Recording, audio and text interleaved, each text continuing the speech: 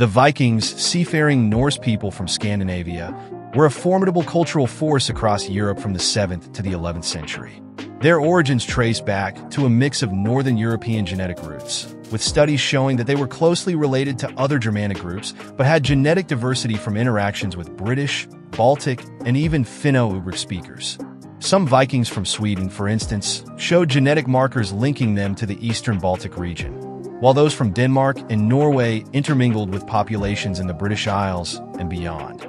Viking culture was characterized by a fierce warrior ethos, yet it also valued craftsmanship, trade, and exploration. They constructed robust, wooden longhouses for family dwellings and intricate stave churches as places of worship, particularly after their conversion to Christianity. Viking architecture emphasized practicality, using timber from their forested homelands and sometimes stone. Their language, Old Norse, was written using the runic alphabet, with the younger Futhark being the primary script during the Viking Age. The Vikings' beliefs were centered on a polytheistic system with gods such as Odin, Thor, and Freya, embodying various aspects of nature, war, and fertility.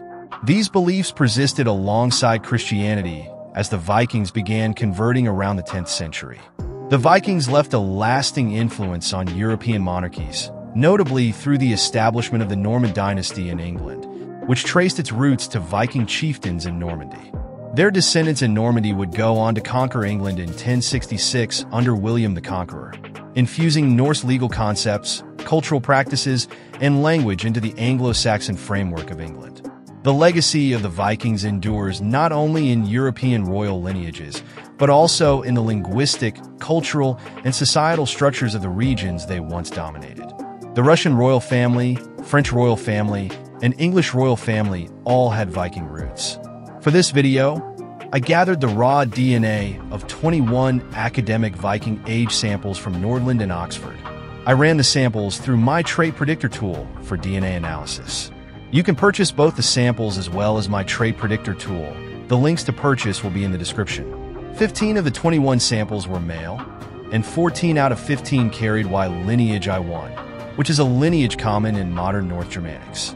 One person carried a North Germanic subclade of R1A, R1A Z284. The most common predicted phenotype was Hallstatt, and almost every sample was predicted to exhibit a Nordic phenotype.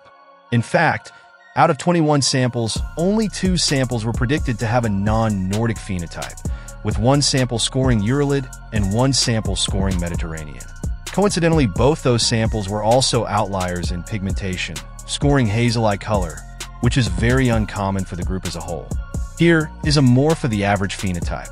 The most common eye color among the 21 samples was blue by far, with a minority of samples having green eyes, blue eyes with an amber center, and two samples having hazel eyes.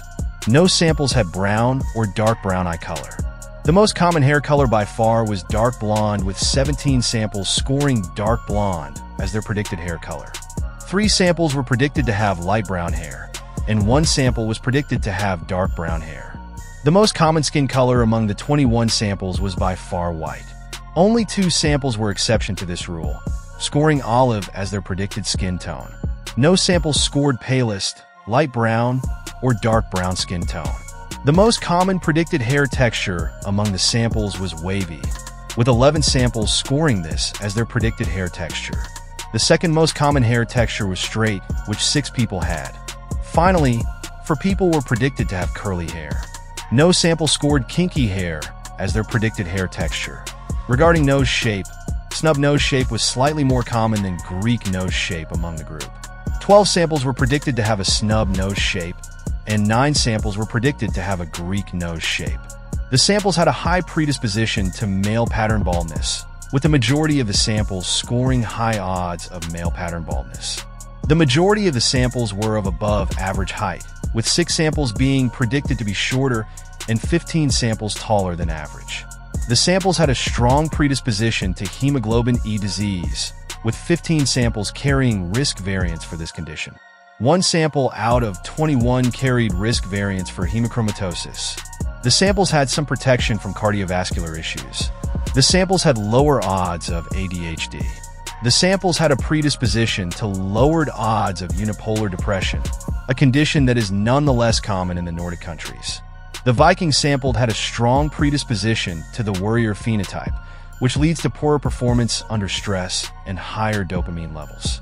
The Viking samples had a strong predisposition to fewer number of D2 receptor sites, which leads to higher propensity for no-go learning and lowered odds for such conditions as schizophrenia or bipolar disorder.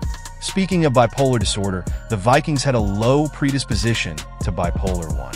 The 21 Viking samples had a very strong predisposition to autism. 18 out of 21 samples were predicted to be lactase persistent. The Vikings were predisposed to an average level of empathy on the basis of OXTR genotypes. Regarding athleticism, the frequency of the sprinter allele in ACTN3s are 577X and Vikings was roughly approximate to that of European average, but slightly higher, reflecting a predisposition to athleticism. The samples had an average predisposition to epithelial cancers on the basis of 8q24 genotypes. The Vikings had a roughly average predisposition to autoimmune disease on the basis of HLA genotypes. However, they were strongly predisposed to certain autoimmune conditions known to disproportionately affect Northern Europeans. 8 out of 21 samples were HLA DRB1 carriers for multiple sclerosis risk variants. The Vikings also had a strong predisposition to type 1 diabetes. The Viking samples had a strong predisposition to lowered odds of obesity. The Viking samples had an average predisposition to syncope. The Viking samples had a predisposition to average telomere lengths, predisposing them to intermediate length of biological lifespan. The Viking samples had roughly average predicted levels of blood glucose. The Vikings were predisposed to a significantly elevated level of LDL cholesterol in blood, possibly counteracting their reduced predisposition to cardiovascular risk. The Vikings were predisposed to an elevated vitamin D level. The Vikings had all blood types, including O, A, B, and AB, but the most common blood types among the 21 samples were A and O. Thank you for watching my video until the end. Make sure to leave a like and share if you enjoyed it.